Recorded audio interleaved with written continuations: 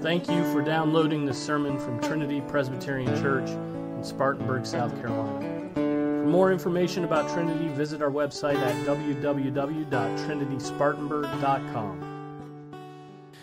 So now let's stand for the reading of God's Word. We're going to turn to uh, John 8, and we're going to pick up at verse 12 and read through 20. This is the word of the Lord, it is eternally true. Then Jesus again spoke to them, saying, I am the light of the world. He who follows me will not walk in darkness, but will have the light of life. So the Pharisees said to him, You are testifying about yourself. Your testimony is not true. Jesus answered and said to them, Even if I testify about myself, my testimony is true. For I know where I came from and where I am going but you do not know where I come from or where I am going. You judge according to the flesh. I am not judging anyone. But even if I do judge, my judgment is true, for I am not alone in it, but I and the Father who sent me. Even in your law it has been written that the testimony of two men is true. I am he who testifies about myself, and the Father who sent me testifies about me. So they were saying to him, Where is your Father? And Jesus answered, You know neither me nor my Father. If you knew me, you would know my Father also. These words he spoke in the treasury as he taught in the temple, and no one seized him because his hour had not yet come. This is the word of the Lord. Let's pray. Oh, Father, we call upon you since all fullness of wisdom and light is found in you, mercifully enlighten us by your Holy Spirit in the true understanding of your word. Give us grace to receive it in true fear and humility. May we be taught by your word to place our trust only in you and to serve and honor you as we ought, so that we may glorify your holy name in, in all our living and teach our neighbor by our good example rendering to you the love and the obedience which faithful servants owe their masters and children their parents, since it has pleased you graciously to receive us among the number of your servants and children. Father, we pray this in Jesus' name. Amen. Amen. Be seated. So last month, before uh, Christmas, I preached on verse 12, where Jesus says that he is the light of the world. In that sermon, I concluded with this I said, You who are in Christ have that light. Right? Jesus being the light, if you are in Christ, you have that light. Now, there remains that struggle with your flesh, the flesh and the spirit waging war against one another. But remember, there is no fight in those who walk in darkness. There's no struggle, even. They love their bondage to sin and like to stay hidden in darkness. Those who follow Christ, who walk in his light, possess something really uh, almost indescribable. They possess a, an indescribable peace. Even as the world revels in the darkness, even as the fallen world is washed in blood, even as all breaks and disappoints, the followers of Christ, the light of the world, right? They have peace in the midst of all of that. And so, what Jesus says here about not walking in darkness, rather living in and, and having the light of Christ, is especially meaningful given the words he just spoke to that woman who was caught in adultery right, which we looked at last time. It's a, it's a continuation of his exhortation to her to leave behind her sin, right, to find peace in the light of Christ. He offers himself to her as the path of freedom from her bondage to sin. And so the balance of her days should be spent uh, to serve Christ, to enjoy his friendship, and, and not to indulge her desires and run after uh, the darkness which is which was her sin of adultery.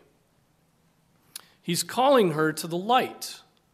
He's calling her out of the darkness she's been living in. He's calling her to light. Once again, the Pharisees object to Jesus' statements.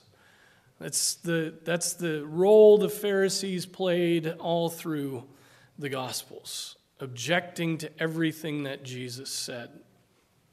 Right? E- even if he had said something that they had said a minute earlier, they would have objected to it. Right? Spurgeon likens the Pharisees to wasps who quickly return after being driven away. Just constantly coming back to Jesus, trying to get him.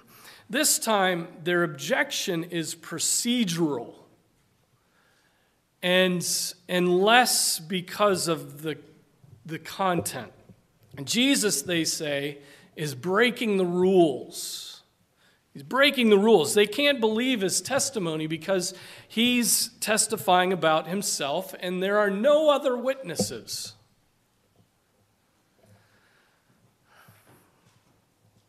They, they say that no man should be trusted when speaking on his own behalf.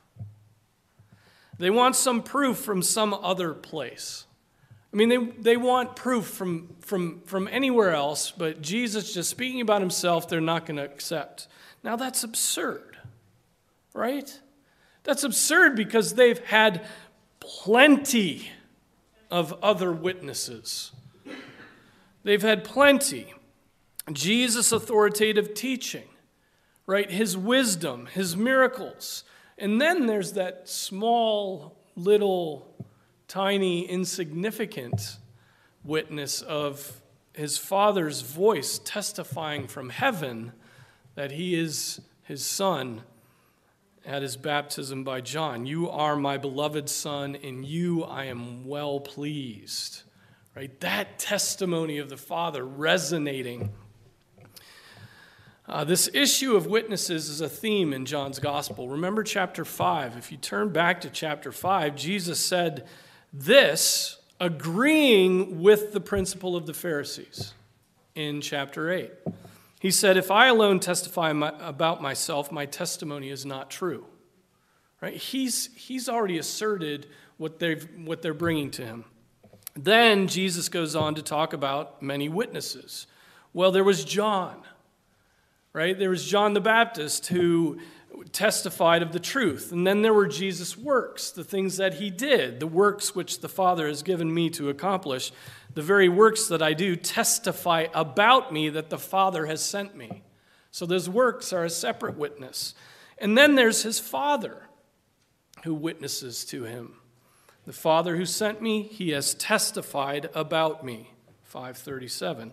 And then finally, he speaks of the testimony of the scriptures.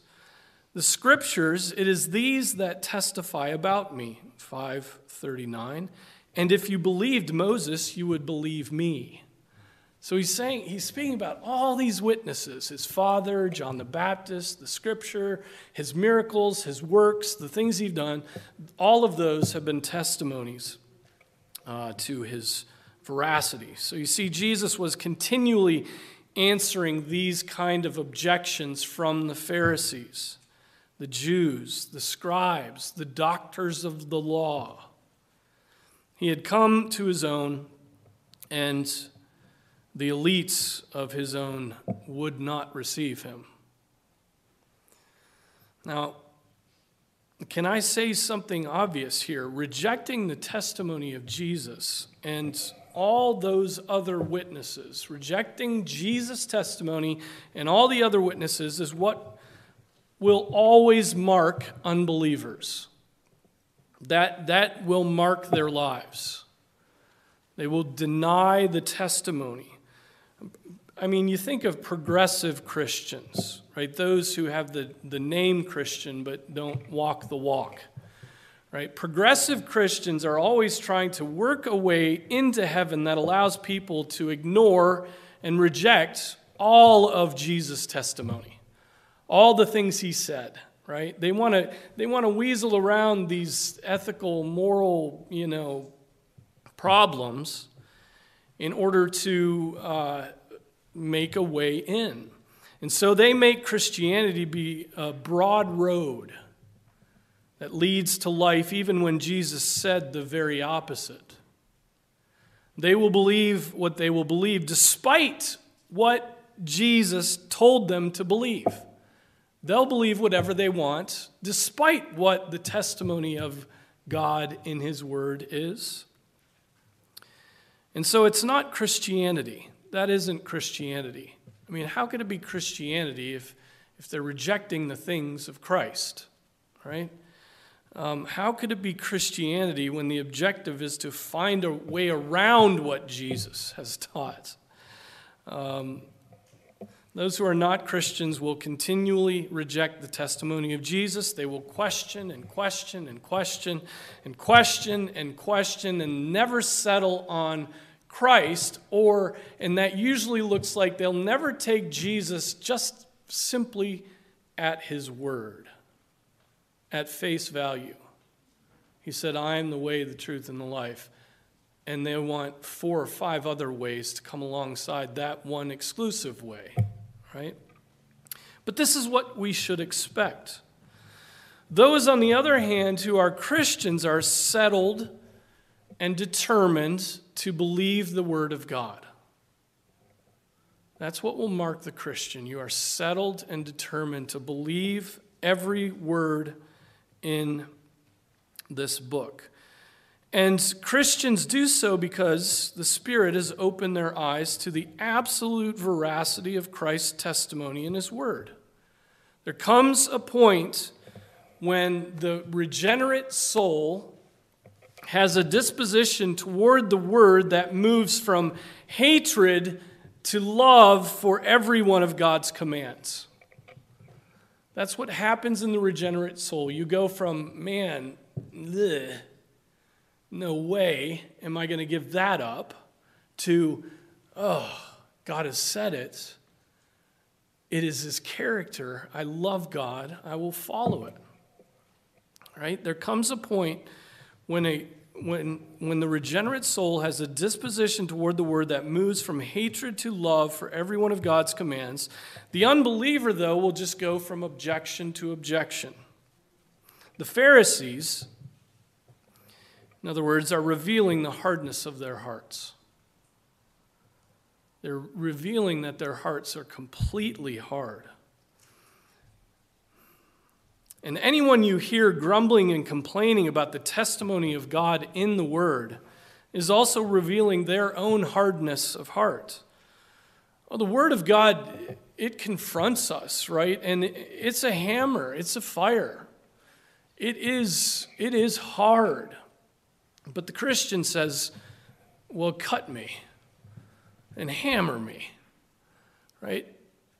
And especially if it means I will leave behind sin and be holy as God is holy. The unbeliever objects and objects and objects to the testimony of the word and cries, Unfair, unfair, unfair. We're just human. And when the Spirit works in the hearts of a man, in the heart of a man, the, one of the, the main proofs is that they no longer object to the word. They simply cling to it. They love it. And they love it even when it, it annihilates them. It's interesting to me how today we, we laud and we praise doubt. You know? Isn't it interesting how, how we, we praise doubt as if that's the, doubt is the height of the this of spiritual pursuits. I mean, it's all hipster Christians do, right? It's what hipster Christians do, is just talk about and sanctify doubt. They think it is spiritual to question and question and question and question and then never settle on Christ and then never submit to his word, right? They use sophistication to uh, skirt every obvious teaching of, of Scripture. Everything is a struggle, and it's a battle, and it's confusion because, you know, our brokenness. And the spiritual man today is not the one who fixes his hope on Christ. the one who hangs his hope on every word that proceeds from the mouth of God, right? The spiritual man today, it seems, is, is the one who opposes on principle the call to work out one's salvation in fear and trembling. The spiritual man today is the man who presumes upon the grace of God and honestly sins so that grace may abound. The hipsters are incessantly talking about grace, right? And yet all depressed and despairing. How does, how does that make sense? All they talk about is grace, grace, grace, grace, grace, grace, grace. They avoid the law. They never preach convicting sermons, right? They don't shoot for the heart. And then they all talk about how depressed they are and how it's necessary then to um, have a hobby of craft beer, you know, to kill the pain. Right? Giving, and they, and they give, they, they think it's important to, to laud those who, whose approach to the word is one founded on unbelief and doubt, right? The philosophers, whatever it may be. And that's what, that's the sort of, that's, that's what the PCA became. Hipster Christians, you know, sanctifying doubt, questioning and questioning, being progressive, trying to work around the obvious teachings of God's word. How can that be? How, how can it be that we, uh, we at times are like that, brothers and sisters, unceasingly talking about grace, but then unable to get out of bed in the morning? Unceasingly talking about the grace of God and depressed at the same time. It's not because we are mourning the sinfulness of mankind, right? Our depression doesn't arise from like Jesus at the tomb of Lazarus grieving over sin. Right? Very seldom do we, we ever get that cosmic. Right? Um, we're not depressed because we're mourning the sinfulness of mankind, weeping as we look on the lost. We really don't care that much to our shame. It's likely because, you know, talking about grace and still being depressed, it's likely because we haven't properly repented of our sins. We haven't done the hard work of confession and prayer and mortifying and fighting and relying on God's provision of the way of escape. Instead, we just recast God as a benevolent pushover who doesn't require any repentance or any rigor in the Christian life. And that's cheap grace.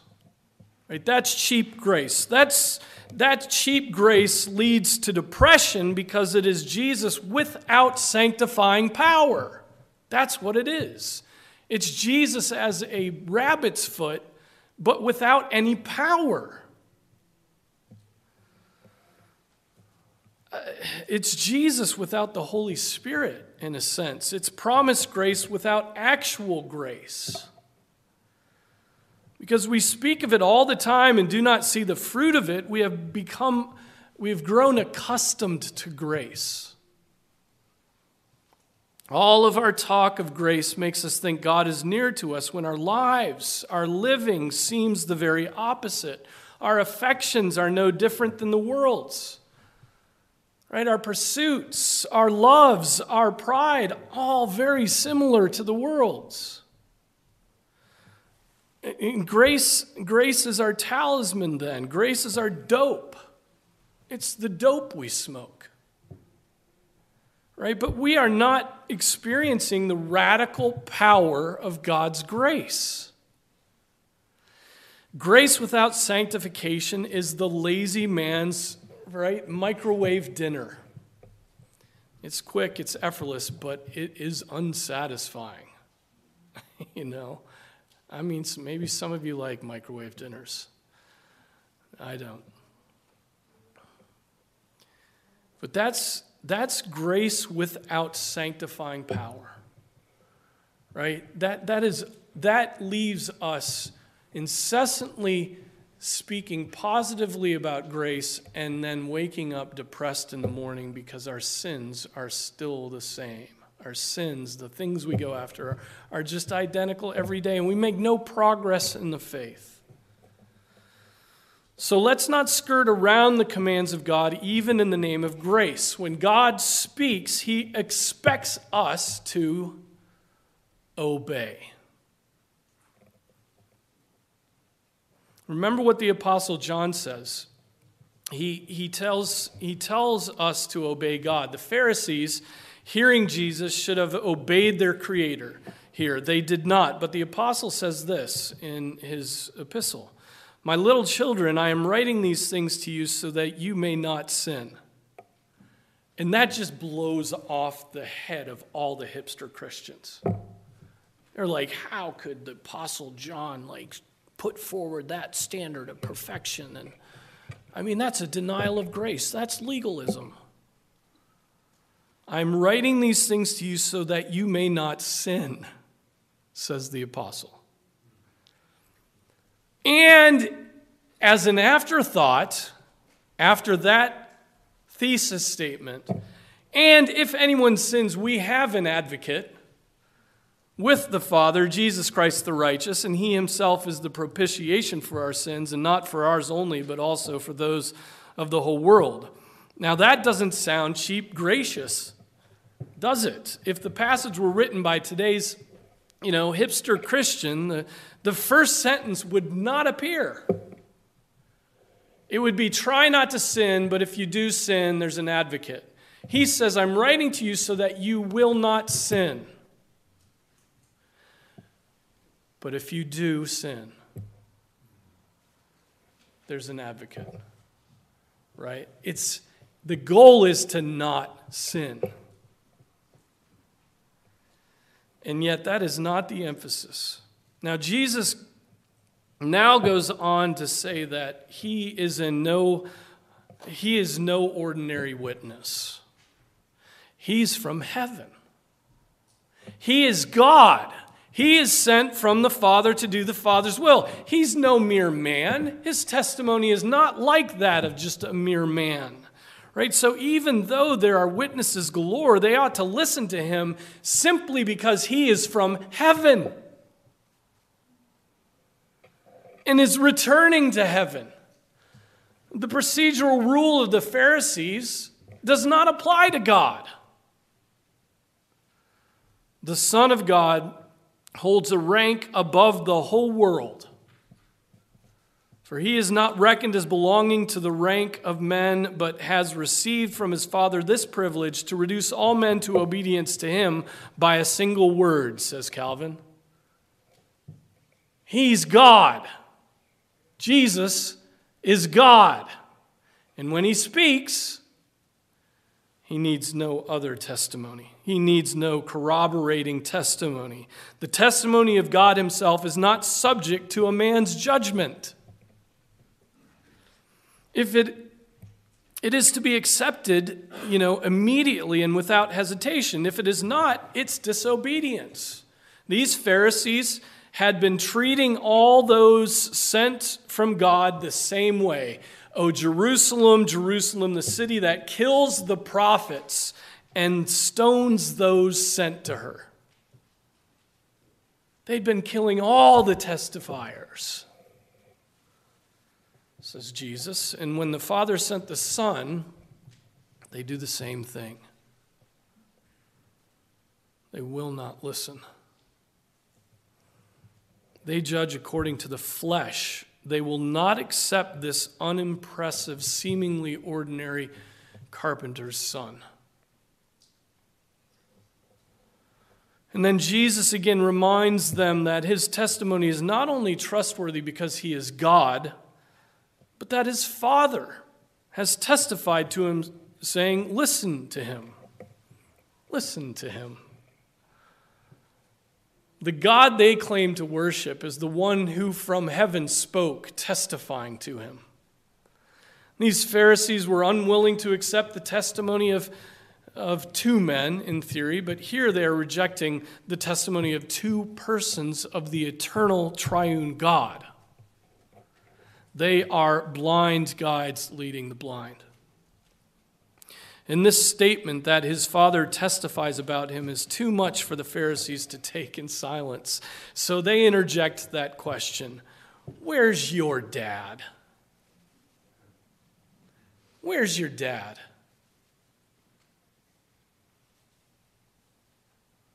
I mean, they're, they're, that's how I take it. Where's your father? It's translated. But, they, but they're saying, Where's your dad? Now, let's not forget this that we have already seen these Pharisees pick up stones to kill him because Jesus had made himself equal to God. Remember, that has already happened. We went over that months ago. Again, that's back in chapter 5. For this reason, there, uh, the Jews were seeking all the more to kill him because he not only was breaking the Sabbath, but also was calling God his own Father, making himself equal with God. That's after Jesus says, My Father is working until now, and I myself am working. You remember that? These Pharisees know that Jesus' claim is that he is from God and that his relationship with God is something that is absolutely unique. It's something amazingly unique. So, so unique is it that we, we've spent thousands of years contemplating it and have barely scratched the surface. Right? God the Father and God the Son are one. The Pharisees are not ignorant of this claim. And so when they ask Jesus, Where is your Father? You know, they don't, they don't ask, Who is your Father? They ask, where is your father? In other words, they're being sarcastic. They know his claim and they are mocking his claim by asking where his father might be at that time of day. Is he making coffee? Is he eating a sandwich? Right? They, they're trying to diminish Jesus' claim. And so they make it obvious that they believe he's making up his claim. Where's your dad? Where's your father? And Calvin makes this interesting application based upon that question. He says, By these words, they mean that they do not value so highly Christ's Father as to ascribe anything to the Son on his account. And the reason why there are so many in the present day who, with daring presumption, despise Christ is that few consider that God has sent Jesus. few consider that God has sent the Son. I mean, that's quite clear, isn't it? Fewer today are willing to consider that God sent Jesus Christ. This is our faith. This is what we believe. This is not stories. This is not literature. This is not. Um, this is not eternal truths.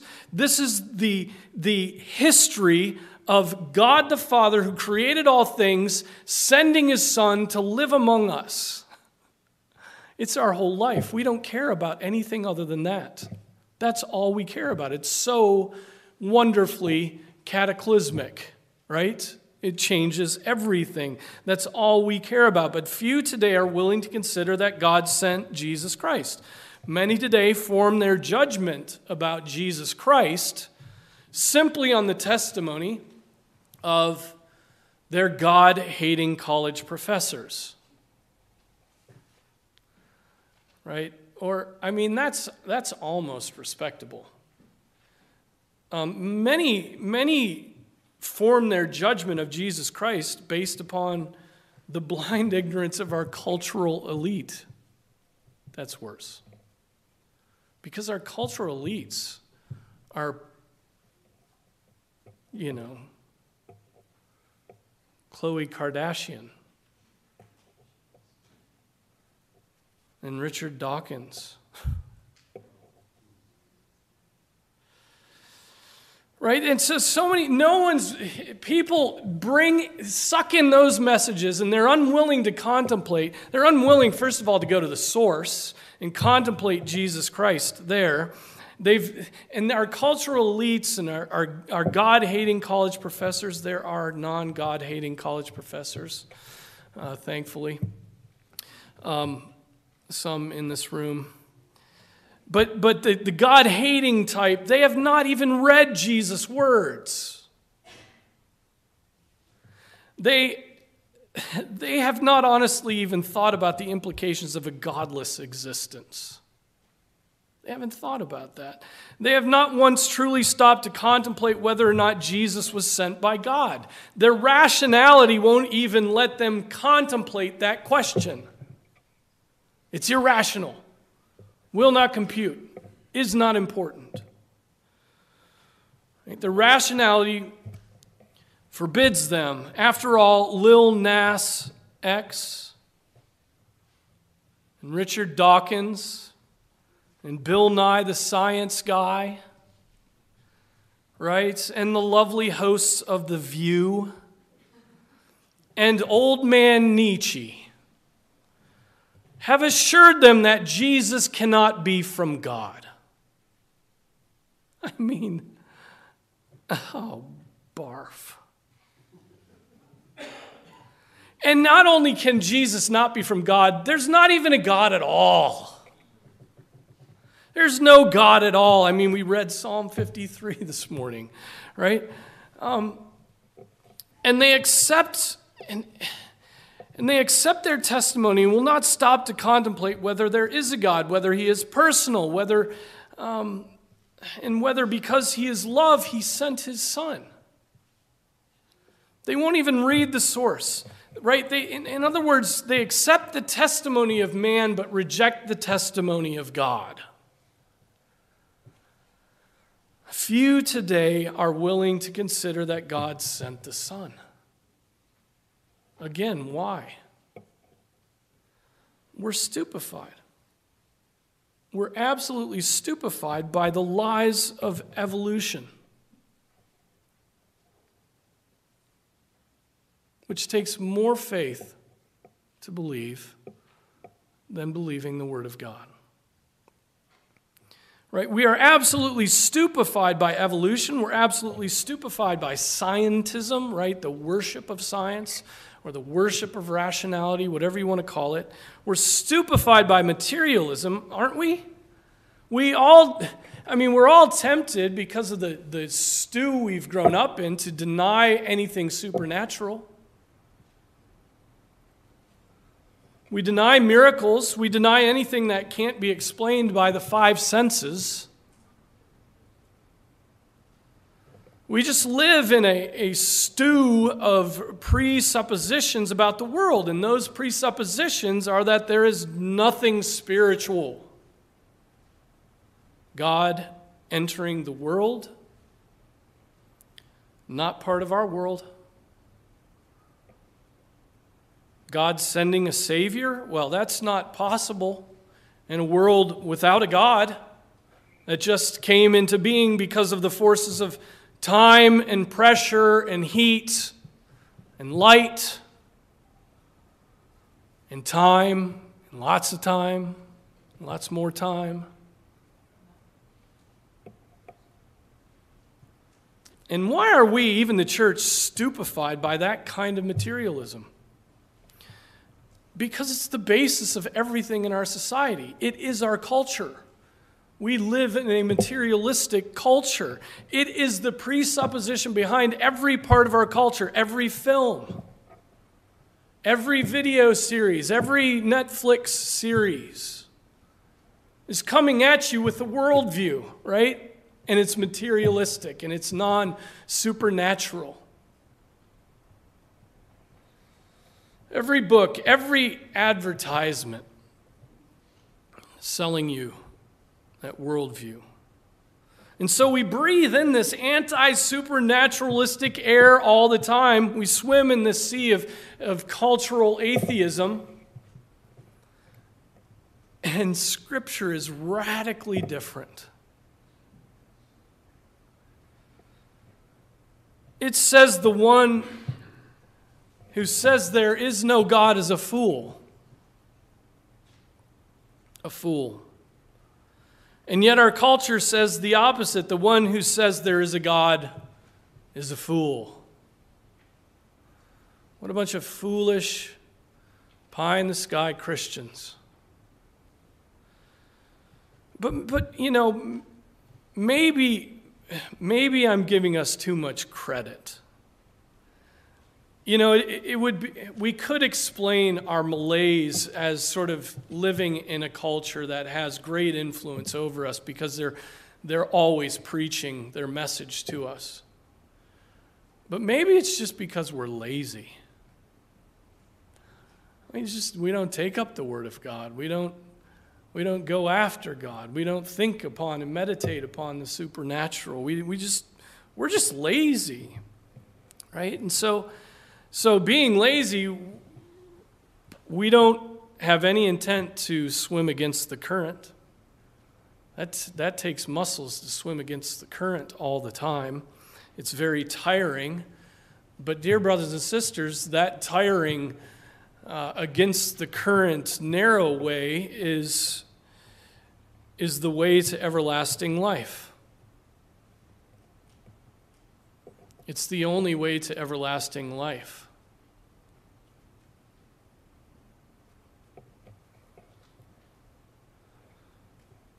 Jesus' Father on that day with the Pharisees and today and every day is there and because of his long suffering, patient nature, is watching over his creation, waiting for men to repent before he sends his son to strike the nations and usher God's children into an everlasting, beautiful, warm, sunny, restful, peaceful, perfect feast.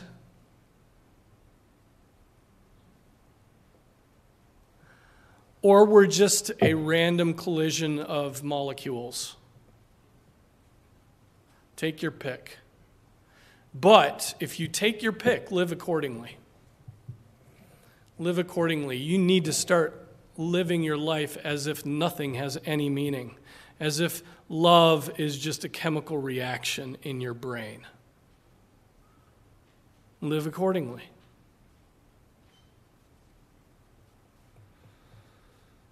Faith says that that, that picture that is painted for us in Scripture, that beautiful upcoming feast in the presence of God and the salvation of mankind and, and the spiritual reality and the eternal soul, faith says that that is the truth. It will come to pass. God is, and He has worked the world in every, uh, in every way expressed in His Word which was inspired by the Holy Spirit. And then, and then the Pharisees, okay, we come back to the passage. The Pharisees mockingly uh, ask, Where is your, where's your dad? And Jesus then says this You know neither me nor my Father. If you knew me, you would know my Father also. Whoa, okay. That's intense, right? Do you feel the intensity of those words? These are the scribes, the Pharisees, the doctors of law, the leaders of the temple, the, the, the powers of the Sanhedrin. You know, like those who accept the testimony of Bill Nye and Dawkins and John Lennon, these men are ignorant they're ignorant. Jesus is speaking of their ignorance. They may boast that they know the Father, but Jesus assures them here that the first and most important proof of their knowledge of the Father would be that they accept what he says. That's what he's saying. Right? They may be experts in the law, they may have the people of Israel wrapped around their fingers, right? They may be compelling, they may be handsome even, but they have been shown what they really are here.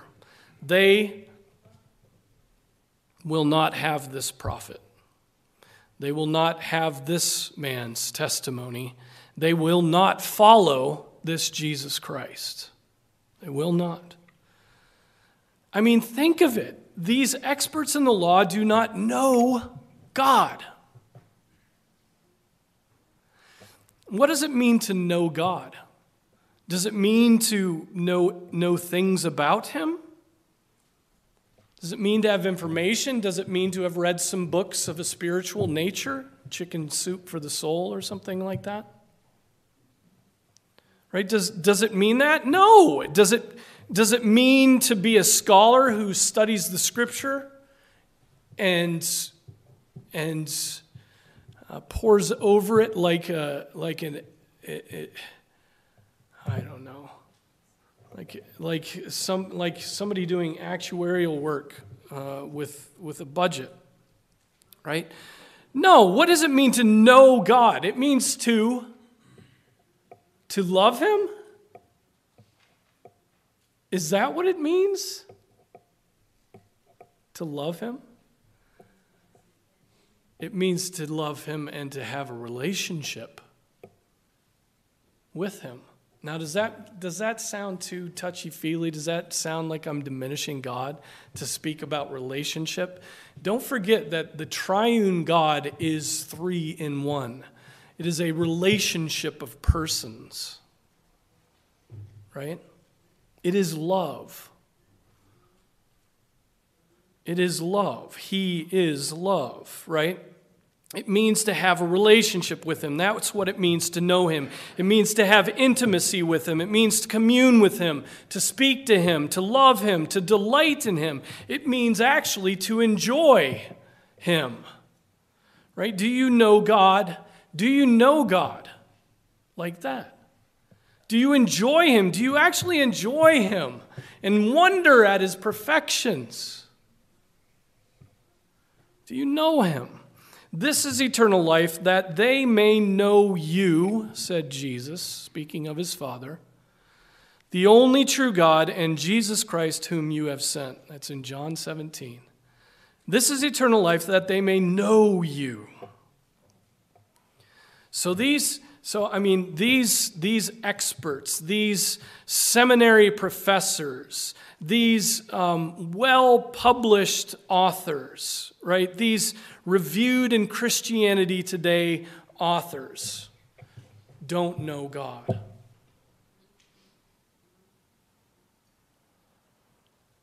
And God is standing right before them, and they don't know God. And so, what's the lesson we pull from all of that? It's, it's this. Many people believe they know a lot about God, about deity, about spirituality, about transcendence. But Christ teaches us that it is impossible to truly know about God and be ignorant of Jesus Christ. That is impossible right? But our pride tells us that we have to discover things about God on our own. We have to, we have to come to a personal, very personal understanding. We have to search and find God on our own and on our own terms with our own unimpeded brain power and our, and, and our pristine senses, right? And, and that's the route, brothers and sisters, of concocting a God of your own imagination. That's where that leads. Jesus Christ said that knowledge of God comes by a knowledge of Him. Him. One way. And a knowledge of Him comes in what way? How does that knowledge come to us? The Apostle Paul writes, How then will they call on Him in whom they have not believed? How will they believe in him whom they have not heard? And how will they hear without a preacher? How will they preach unless they are sent? Just as it is written, How beautiful are the feet of those who bring good news of good things. So faith comes from hearing, and hearing by the word of Christ. The word of Christ. A knowledge of Christ comes by hearing the Word of God, truly hearing and perceiving, not simply hearing, but hearing with understanding, which is a product of the work of the Spirit in man. There is the God of our imagination that originates from within, or there is the God who is written of himself in the Word. Those are the two areas that people fall in. The God that they've concocted, you know, those are usually the people that say, well, my God is, you know, my God would never, you know, crush the Amorites. There is the Word of God also coming in the flesh and dwelling among us. So, in the end, we either worship the God we've concocted or we follow the God who has spoken. And the Spirit can and will convince all of God's children of this truth. Calvin says, For whoever aspires to know God and does not begin with Christ must wander, as it were, in a labyrinth. For it is not without good reason that Christ is called the image of the Father, as has been already said. The Apostle Paul put it this way For God, who said, Light shall shine out of darkness, is the one who has shone in our hearts to give the light of the knowledge of the glory of God in the face of Christ. It is through the face of Jesus Christ, He who is the image of the invisible God, that we see the Father. It is through Christ's face that we have any knowledge of God. God, after He spoke long ago to the fathers and the prophets in many portions, in many ways, in these last days has spoken to us in His Son whom he appointed heir of all things, through whom also he made the world. And he, Jesus, is the radiance of the Father's glory and the exact representation of the Father's nature, and upholds all things by the word of his power.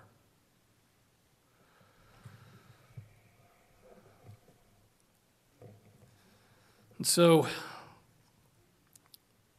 the only way to know God is through Jesus Christ. And in that final verse of the passage we are looking at this morning, even though these confrontational words were spoken right in the middle of the, the temple, right in the treasury of the temple, the Pharisees were unable to seize him. Right? He was protected by his father's providential oversight. His hour had not yet come. He would continue to preach. He would continue to testify of himself to the world with his Father's testimony still resonating in the air. And all those who know God will love and enjoy Jesus Christ, and only those.